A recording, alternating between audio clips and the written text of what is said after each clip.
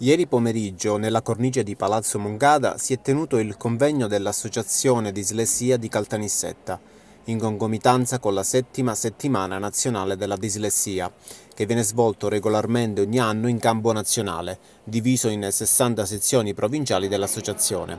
Quest'anno l'Associazione Dislessia Caltanissetta, guidata dal dottore Marco Leonardi, ha organizzato due convegni sull'argomento, uno andato in scena ieri e l'altro oggi a Gela al Teatro Eschilo. Nei convegni si discuterà sulle linee guida da intraprendere e sul metodo di inclusione, dove a parlarne saranno professionisti come psicologi e psicoterapeuti. L'impegno dell'associazione è sensibilizzare il mondo professionale scolastico e la pubblica opinione sul problema della dislessia, promuovere la ricerca e la formazione nei diversi ambiti di intervento e offrire agli utenti un punto di riferimento qualificato per ottenere informazioni e aiuto per identificare il problema. Questo convegno è in occasione della settima settimana nazionale della dislessia che si svolge annualmente praticamente in tutto il territorio in 60 sezioni provinciali dell'associazione su scala nazionale.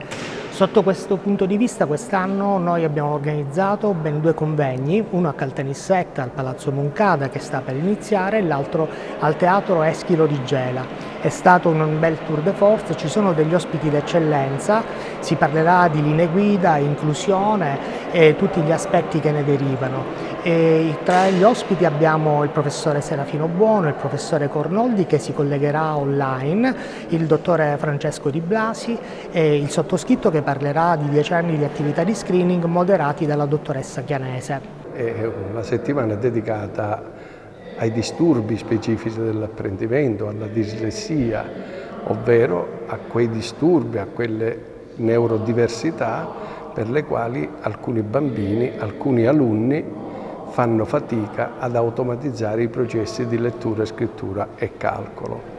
Queste eh, condizioni sono sostenute da aspetti neurobiologici, quindi non sono bambini che non hanno voglia di studiare, non sono demotivati allo studio. Questi aspetti arrivano dopo, alla base c'è un disturbo che non gli consente l'automatizzazione della lettura, della scrittura e del calcolo.